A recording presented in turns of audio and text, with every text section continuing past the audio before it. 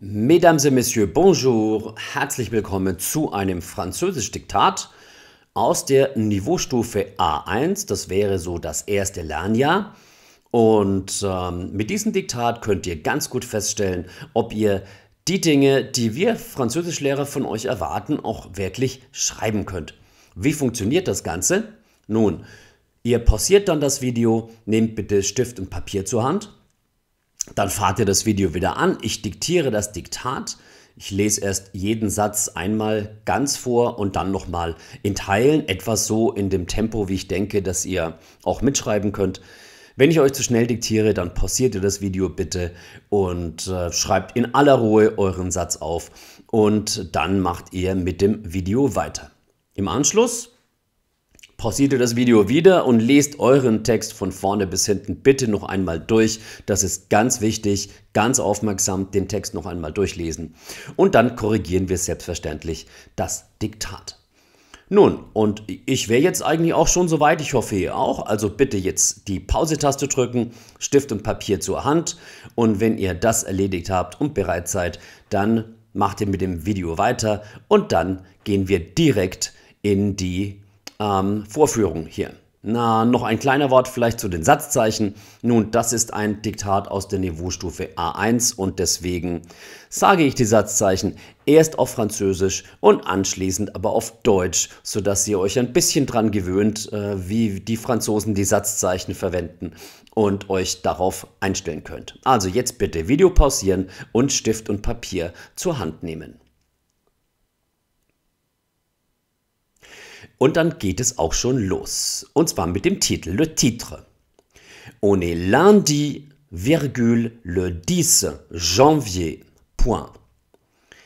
On est lundi, on est lundi, virgule, comma, le 10 janvier, point. Le 10 janvier, point. On est lundi, virgule, le 10 janvier. Point. Nouvelle ligne, neue. Léo et son frère Alex sont devant le magasin de Madame Lola. Point. Léo et son frère Alex Léo et son frère Alex sont devant le magasin, sont devant le magasin de Madame Lola. Point, punct. De Madame Lola. Point, punct. Léo et son frère Alex sont devant le magasin de Madame Lola. Point. Les parents sont là aussi. Point. Les parents, les parents sont là aussi. Point, point. Les parents sont là aussi. Point, point. Aujourd'hui, les garçons achètent des cadeaux pour une copine, virgule, Léa. Point. Aujourd'hui, aujourd'hui, les garçons achètent des cadeaux. Les garçons achètent des cadeaux. Aujourd'hui, les garçons achètent des cadeaux pour une copine, virgule, comma. Des cadeaux pour une copine, virgule, comma, Léa, point, ponte. Les garçons, aujourd'hui, les garçons achètent des cadeaux pour une copine, virgule, Léa, point, ponte. C'est son anniversaire demain, point, ponte. C'est son anniversaire demain. Point, punct.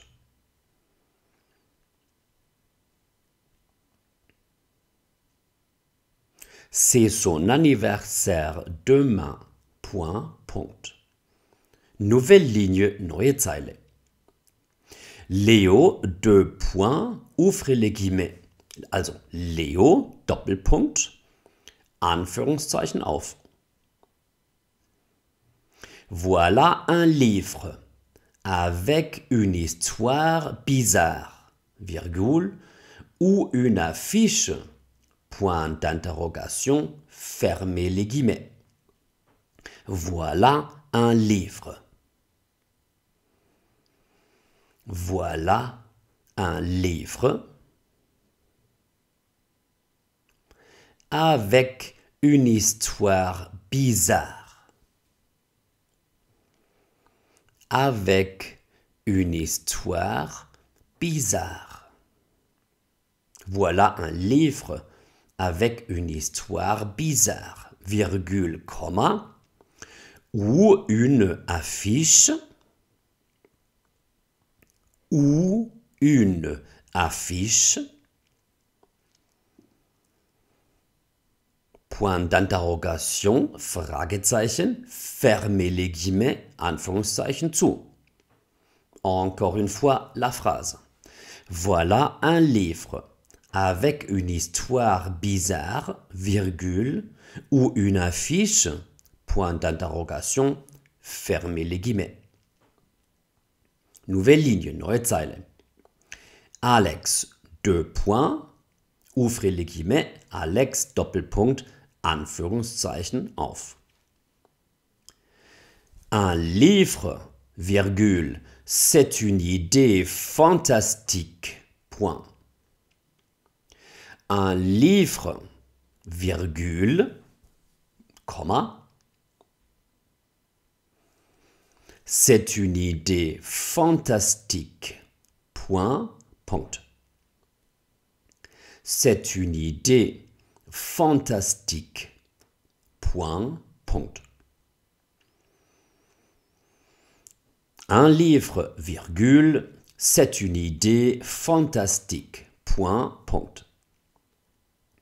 Et après, on cherche un gâteau avec 12 bougies. Point, fermez les guillemets. Et après, on cherche un gâteau. Et après, on cherche un gâteau. On cherche un gâteau avec 12 bougies. Avec 12 bougies. Et après, on cherche un gâteau avec 12 bougies. Point, Punkt, fermez les guillemets, Anführungszeichen zu. Nouvelle ligne, neue Zeile. Léo, deux points, ouvrez les guillemets. Léo, Doppelpunkt, Anführungszeichen auf. Est-ce que Léa invite des copains pour sa fête? Point d'interrogation, fermez les guillemets. Est-ce que Léa invite des copains? Est-ce que Léa invite des copains?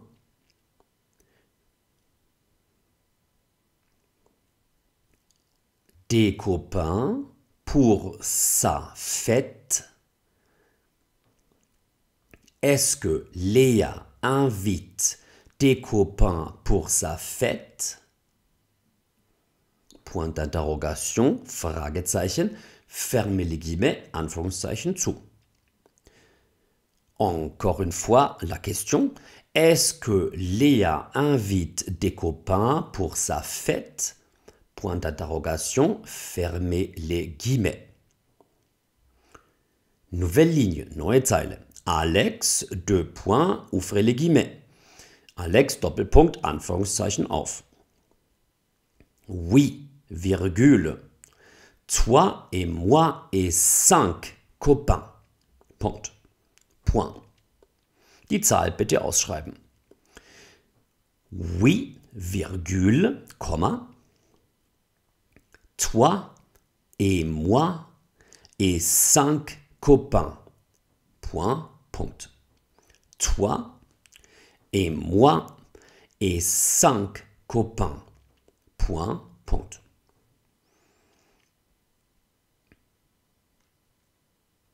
Mais ses grands-parents ne sont pas là. Point. Mais ses grands-parents mais ses grands-parents ne sont pas là. Point, point. Mais ses grands-parents ne sont pas là.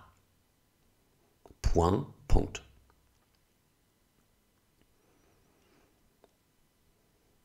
Il travaille en Allemagne. Point, fermez les guillemets. Il travaille. Il travaille en Allemagne. Point, Punkt, fermez les guillemets, Anführungszeichen zu. Il travaille en Allemagne. Point, fermez les guillemets. Nouvelle ligne, neue Zeile. Léo, deux points, ouvrez les guillemets. Leo, Doppelpunkt, Anführungszeichen auf. C'est dommage. C'est dommage.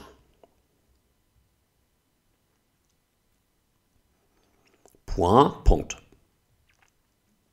C'est dommage. Point. Léa a quel âge? Point d'interrogation, fermez les guillemets. Léa a quel âge? Léa a quel âge? Point d'interrogation, Fragezeichen, fermez les guillemets, Anführungszeichen zu. Encore une fois, la phrase, c'est dommage. Point, Léa a quel âge? Point d'interrogation, fermez les guillemets. Nouvelle ligne, neue Zeile. Les parents. Deux points, ouvrez les guillemets. Les parents. Deux points, Doppelpunkt, ouvrez les guillemets, Anführungszeichen auf. Léa va avoir 12 ans. Point. Léa va avoir 12 ans. Point. Punkt. Léa va avoir 12 ans. Point. Punkt.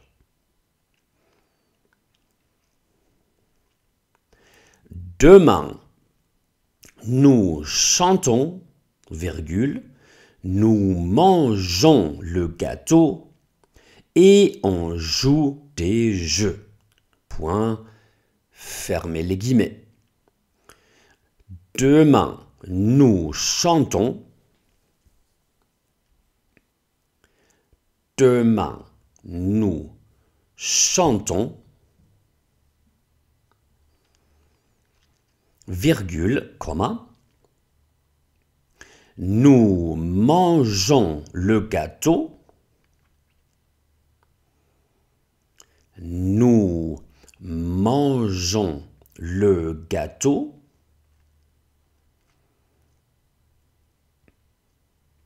Et on joue des jeux. Point, fermez les guillemets. Et on joue des jeux. Point, fermez les guillemets. Fin de la dictée. Ende des Diktats. Je répète la dernière phrase. Ich wiederhole den letzten Satz nochmal.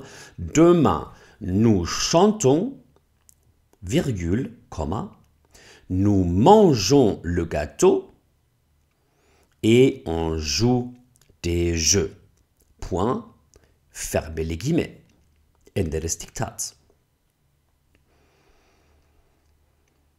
So, ich würde vorschlagen, ihr benutzt jetzt die Pause-Taste und lest euch euren Text von der ersten bis zur letzten Zeile noch einmal durch, korrigiert noch eventuelle Fehler und dann gehen wir hier in die Verbesserung. Gut, los geht's. Und jetzt gehen wir das Ganze Satz für Satz einfach mal durch. Also so als kleine Überschrift wäre es folgender Satz gewesen, ein Datum. On est lundi, die Franzosen machen hier ja ein, Être mit ist, also nicht, also heute ist Montag sozusagen, le 10 janvier. Ähm, ja, ihr könnt das dies, die C noch ausschreiben, da wäre es D-I-X. Äh, Im Datum äh, schreiben die Franzosen das normalerweise als Zahl. Und Janvier, das ist der Monat, der dazugehört. Die Monate müsstet ihr bis jetzt eigentlich dran gehabt haben. On est lundi, le 10 janvier. Also es ist relativ geradlinig eigentlich. So, jetzt sehen wir uns das mal an. Leo et son frère Alex. Ja, da haben wir erstmal son frère, also Leo und äh, sein Bruder. Und ihr seht schon, Zeile 3 ist wieder ein son. Das ist allerdings ein anderes. Da kommen wir jetzt gleich dazu. Jetzt habe ich beides hier mal in grün ähm, äh, gehighlightet. Leo et son frère Alex sont devant le magasin de Madame Lola. Ah, Im ersten Satz haben wir das son ja eigentlich auch. Jetzt ist es ein sind. Also Leo et son frère Alex sont, sind devant le magasin, das wäre das Geschäft. Bitte nicht verwechseln mit Magazin oder sowas, das passt überhaupt nicht. Le magasin ist das Geschäft de Madame Lola. Madame könnt ihr so abkürzen, äh, wie es hier steht. Ähm, ich würde ich hätte jetzt keinen Fehler gegeben, wenn ihr es jetzt ausgeschrieben hättet, Madame. Üblicherweise in Verbindung mit dem Namen, denke ich mal, würde man die Abkürzung verwenden. Bitte beachtet, nach Madame steht kein Punkt für die Abkürzung. Also einfach Madame Lola. Les parents, les parents, ja, les parents ist Plural und dann haben wir ein S, ein Parent, sont, darauf habe ich schon hingewiesen, la aussi. Oh, das La ist grundsätzlich ein Problem. Das dürfte nicht mit dem, mit dem Artikel La, zum Beispiel le, äh, la voiture oder, oder la gomme verwechseln. Hier heißt es, die Eltern sind auch da oder dort und da kommt dieser kleine Akzent drauf. Das ist ganz wichtig. Les parents sont là aussi. Aujourd'hui, ja, das heißt heute, das ganz ehrlich, es ist ein schwer zu schreibendes Wort. Setzt euch hin, schreibt es euch auf eine Karteikarte, schreibt es 20 Mal ab und ich denke, dann könnt ihr es. Les garçons, hier wieder Plural, achètent. Oh, jetzt, achète ist schwierig, kommt ja von acheter, der Infinitiv. Acheter wird tatsächlich ohne Akzent geschrieben, aber j'achète, tu achètes, il achète und der Plural, ils achètent da kommt ein Akzent drauf. Bei nu und wo wäre der wieder nicht da. Es ist ein, ein relativ unregelmäßiges Verb, das man einfach in der Konjugation lernen muss. Und vergesst nicht das ENT, weil jetzt ist es Plural. Achète des cadeaux, auch das ist Plural, die Geschenke. Also haben wir ein X an dem Cadeau. Pour une copine. Lea. Das dürfte kein Problem sein. C'est son anniversaire demain. Auch dieses C ist eigentlich kein Problem, kann man mit dem SESC verwechseln. Wir sehen das dann gleich später nochmal, aber c'est son anniversaire demain. Leo. Deux points war Doppelpunkt und jetzt Vorsicht, ouvre les guillemets, Anführungszeichen auf. Beachtet bitte, die Franzosen machen ihre Anführungszeichen tatsächlich deutlich anders als die Deutschen oder die Engländer und Amerikaner. Also bitte immer diese kleinen ähm, aufgesetzten Pfeilchen verwenden. Voilà un livre avec une histoire bizarre. Das ist, das ist eigentlich kein Problem. Dann war ein Komma und dann ou une affiche. Ja, ou oder ohne Akzent auf dem U, wenn ihr den Akzent grave auf das U macht, dann heißt es wo. Und das wäre ein Fehler, weil das ergibt eigentlich gar keinen Sinn. Hier ist ein oder und deswegen ou une affiche. Un livre, c'est une idée fantastique, hatten wir schon mal. Et après, also jetzt genau aufpassen und dann et après, das ist ein und, das ist nicht ein ist, also nicht est, sondern einfach nur ein e und ein t. Et après, on cherche un gâteau, hatten wir schon mal, avec douze, also mit zwölf. Ich glaube, ich hatte euch gebeten, die Zahl auszuschreiben, aber ganz sicher bin ich mir eigentlich gar nicht mehr. Ähm, douze. Und jetzt ist schon klar, es ist Plural und deswegen haben wir Bougie, die Kerzen, hier auch mit einem S, avec douze, Bougie. Leo, est-ce que, est-ce que, ja, der Klassiker, so beginnt eine typische Frage. Est-ce que ist ganz wichtig, dass man das schreiben kann. Est-ce que Léa invite des copains? Haben wir wieder ein Plural. Aufpassen, bitte ein S an das Copain. Est-ce que Léa invite des copains pour sa fête, für ihre Feier? Und dann hätte man noch Fragezeichen und Schlusszeichen. Und hier bitte auch wieder aufpassen, dass ihr das Schlusszeichen richtig macht. Und die die äh, Begriffe für Fragezeichen und Schlusszeichen, denke ich, würde ich auch von meinen Schüler, Schülern im ersten Lernjahr noch nicht erwarten, dass sie das auf Französisch können. Alex, oui. Toi et moi, also um dich und mich lädt sie ein, et cinq copains. Hier wieder Plural mit S. Ah, mais ses grands-parents ne sont pas là. Ah, jetzt haben wir ihre Großeltern. Alors, Jetzt ist es nicht mehr ein C-Apostroph-EST, sondern ihre Großeltern, ses grands-parents. Und Vorsicht bei den grands-parents, das ist auf jeden Fall Plural und deswegen haben wir S an grand und ein S an parent. Ne sont pas là, sie sind nicht da. Hier wieder nicht verwechseln mit dem Artikel là. Il travaille. Ja, auch wenn ich es nicht höre, il travaille. Die Endung ENT ist ganz wichtig, die muss ich trotzdem aufschreiben. Il travaille en Allemagne, also in Deutschland. C'est dommage. Ah, jetzt haben wir das andere C'est. Also ihr seht schon, ich spiele hier ein bisschen mit diesem C'est laut. C'est, das ist aber schade, c'est dommage. Und dann ganz typisch im Französischen dieses, wie alt ist sie denn? Machen die Franzosen mit dem avoir. Léa a quel âge?